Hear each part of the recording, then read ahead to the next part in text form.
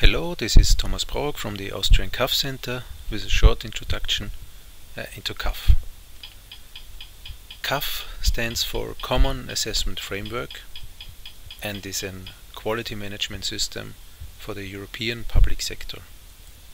CAF is a self-assessment system, a self-assessment from the members of the organization, meaning that staff together with the management uh, assess the organization, find improvement actions based on a questionnaire with 200 questions. CAF is based on consensus, meaning that the self-assessment team members are management and uh, and staff together find the improvement actions. Therefore, it's an instrument for involvement of the staff. CAF initiates continuous improvement, continuous improvement processes based on quality management.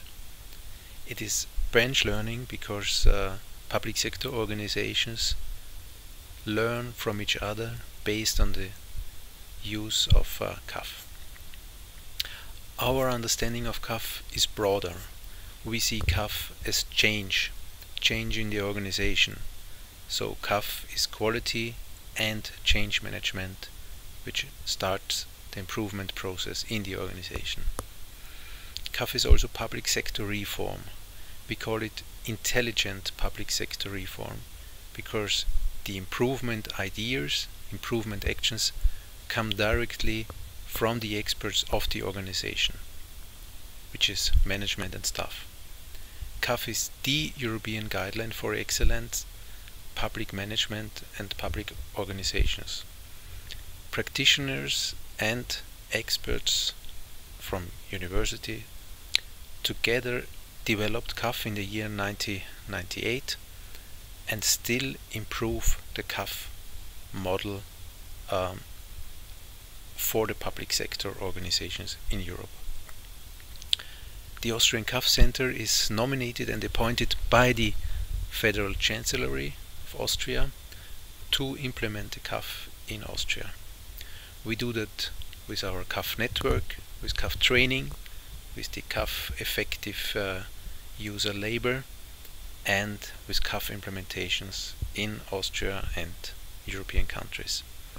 Our mission is the continuous improvement of CAF, its methods and its processes.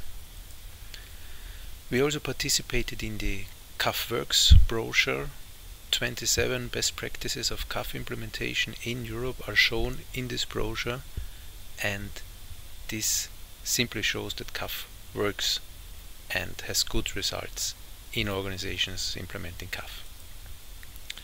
The CAF model is all about achieving excellent results.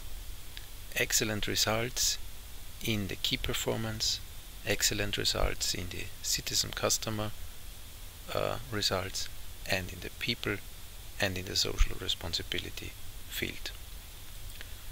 How to achieve these good results is improving the enablers.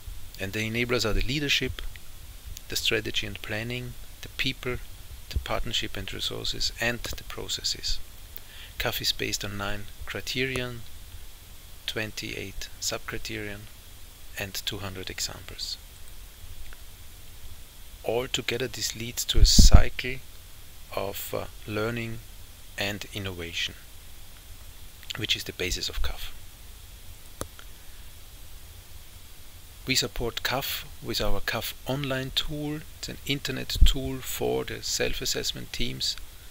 Uh, it leads through the CAF processes by uh, questioning the, the self-assessment team uh, with the CAF uh, examples and for each CAF uh, criterion, CAF subcriterion, strengths weaknesses and improvement actions can be uh, filled in this CAF questionnaire and CAF online tool. CAF is more than common assessment framework. CAF is first of all change. It focuses on change. It creates a climate of change and it starts the continuous improvement through assessment through self-assessment involving and enabling staff, both management and staff after CAF implementation know their organization uh, very well. They know the strengths and the weaknesses and found improvement actions. Last but not least, CAF stands for fixing, fixing the change through continuous improvement. Um, CAF needs communication, communication to the staff, to the management, to the politicians and to the citizens. CAF is a leadership task. Without support of the management, CAF will not succeed.